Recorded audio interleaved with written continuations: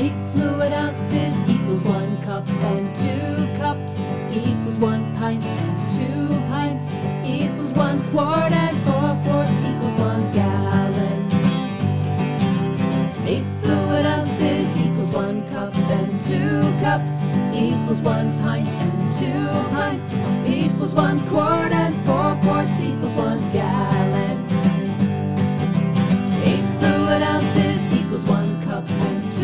cups equals one pint, and two pints equals one quart.